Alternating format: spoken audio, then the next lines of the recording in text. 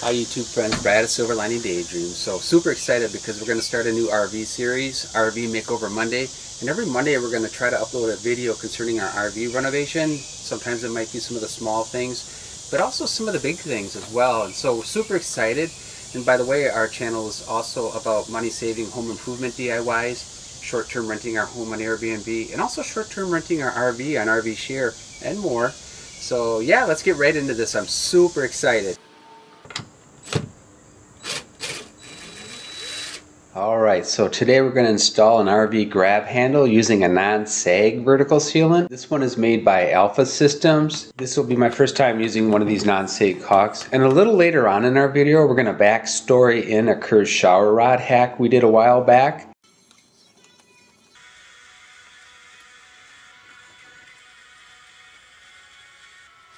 Not sure if this is going to work. I don't have any mineral spirits.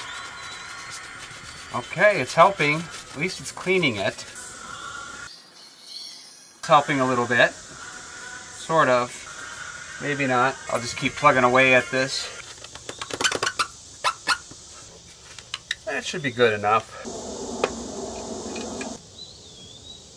You can see this old one has a little bit of this black seal tape. So I think I'll pull this off. Here's a new one. We can try to reuse it. I don't see why we can't. Gonna be like new. I'm gonna say it's gonna be like new because this handle was on the inside and I took that off. It wasn't real dirty, but a little bit, and I just cleaned it up. And then I put a brand new one on the inside of the RV.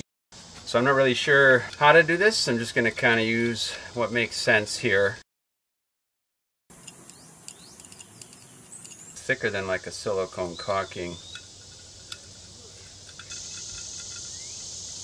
This might be too much, but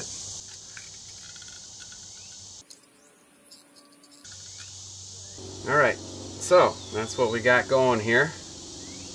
And here's the screws. So I think we'll just start one through there. Whoop! Should have put the screw in first. It's already starting to dry. Alright.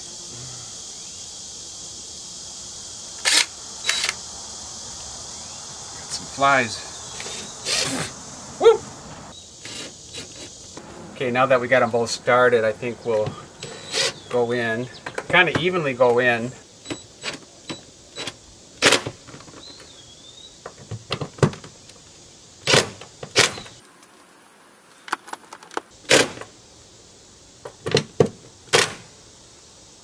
This is the same as the old one, but it has a little more give.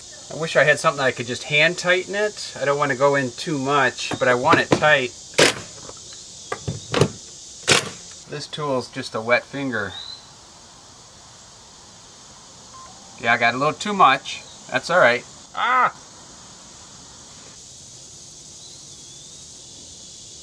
Okay, so I would use a whole lot less and just add caulk. Yeah, this is kind of the hard way. I guess it won't be leaking though.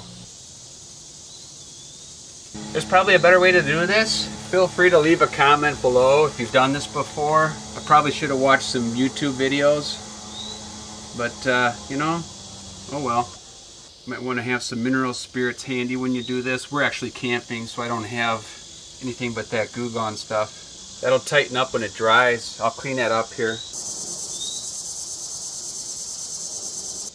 Some of that goo be gone.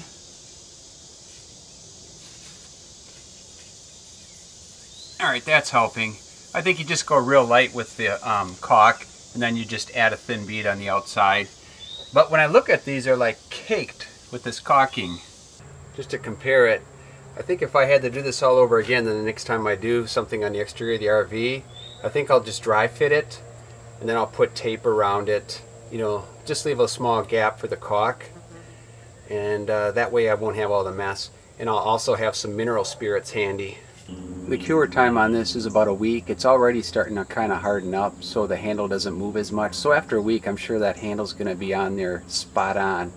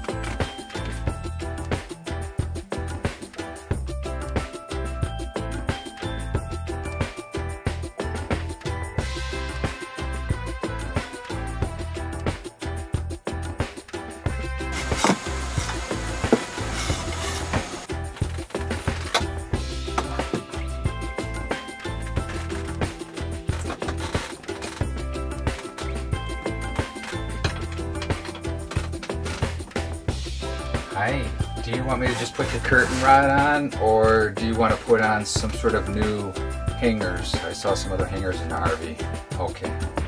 I'll put them back on. Thank you. Okay, love you. Yes, I'm videoing you right now.